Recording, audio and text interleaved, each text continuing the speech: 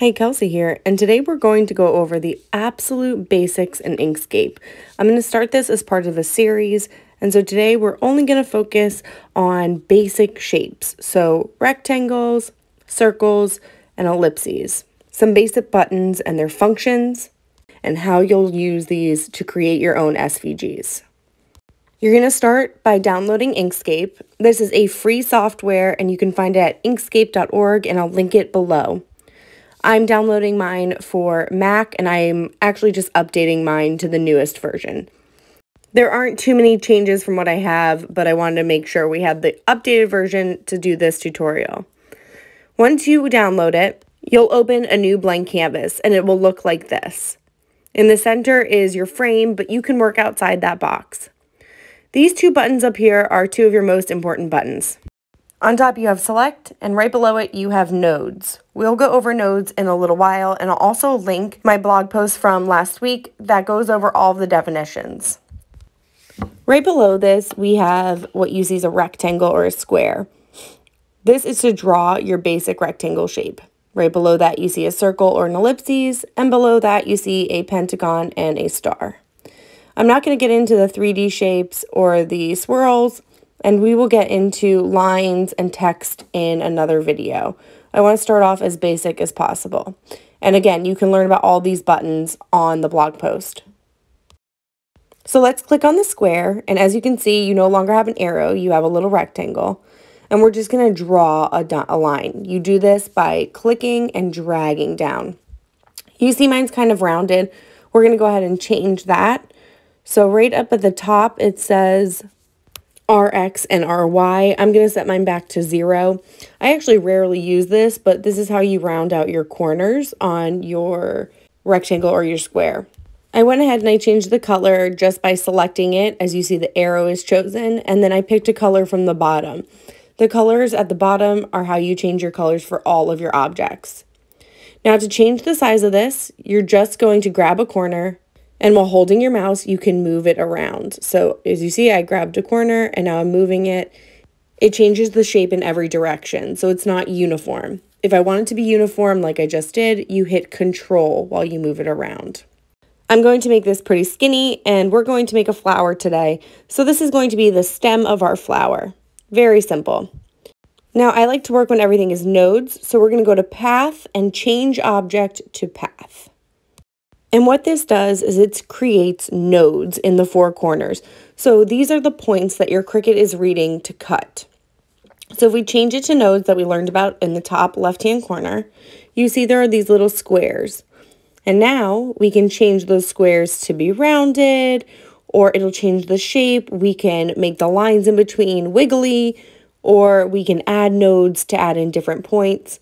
I'm going to keep everything nice and straight for our stem. This is going to be a simple flower. So now we have our stem done. Let's go ahead and grab a circle. This is going to be the center of our flower. So here it says circles or ellipses. And as you can see, mine is coming up as this like half circle. So we're going to change it. I'm going to change the end and the start to zero up at the top. And now it is a full circle. So I'm going to go ahead and I'm going to hit select and you can change the size here with W and H. If it's unlocked, that means that those are not going to automatically change together. So you'll have to do them individually. And if you want them to be uniform, you would lock it. So I'm just changing it to a different color for our center. And again, that object to path so that it has nodes. Now you can resize it just like we did before, and I'm holding control so that it resizes uniformly. Now our next step is we're going to duplicate that center and pull it off. So I'm just dragging, just like you would in Cricut Design Space. And now I'm going to make another ellipse. So I'm making an oval this time. So when I'm dragging out, I'm just making it a little bit longer. I'm turning off my nodes here so that it freely moves. When you have that turned on, it snaps to nodes, so it makes it easier to line things up. But we're going to turn that off.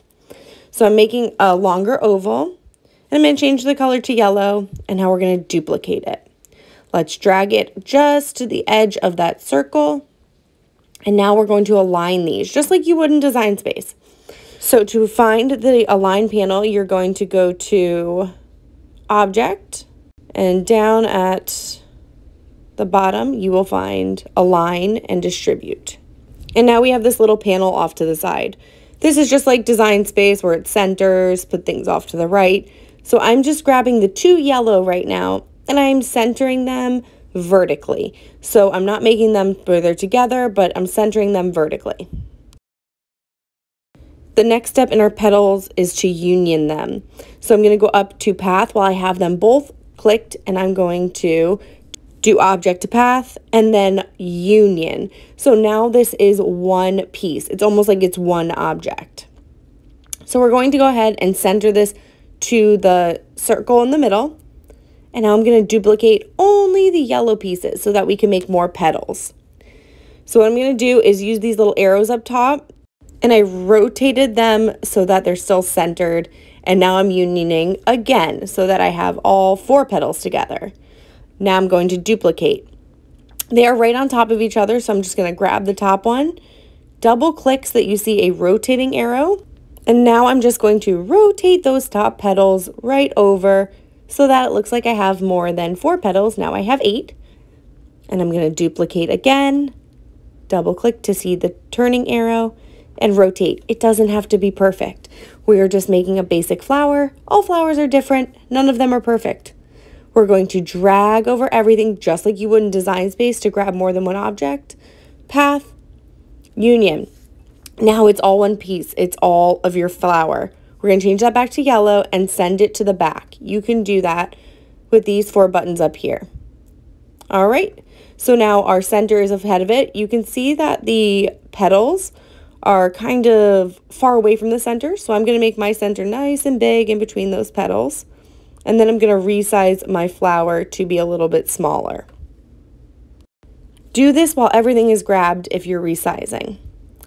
So I still feel like that center seems odd, so I'm going to make it a little smaller again, just the center, and I'm going to put it right into the center of my flower. Again, it doesn't have to be perfect because flowers aren't perfect. And now I change to nodes. Now we're just going to click on each individual node that's right at the bottom. Remember, these are the points your Cricut's cutting to. So I'm just clicking one and dragging it up. Clicking one and dragging it up making the petals a little bit longer so they cut a little bit deeper into that flower. And now it looks like a flower. So now I can make the center just a little bit smaller. Doesn't have to be perfect. And I'm going to go over to my align and distribute and just center those two things together. I'm going to go back and look at the nodes, pull them in a little bit more, and you can do this until the petals look right to you.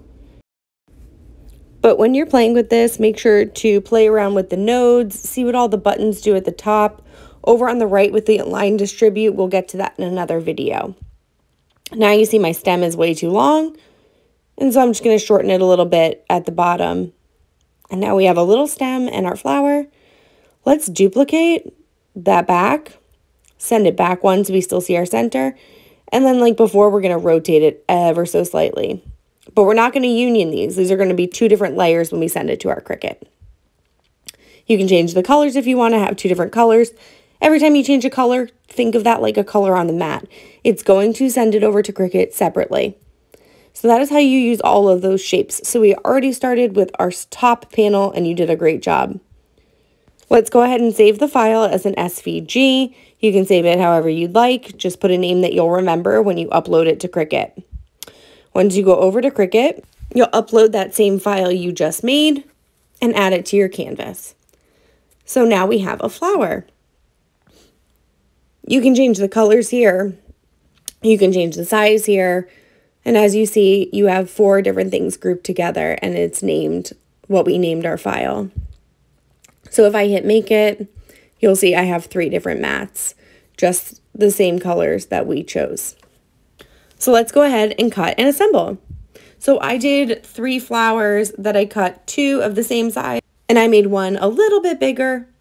And so let's go ahead and assemble it. So I'm going to grab my two bigger flower pieces and put a little bit of glue in the center because I'm just going to attach the centers together.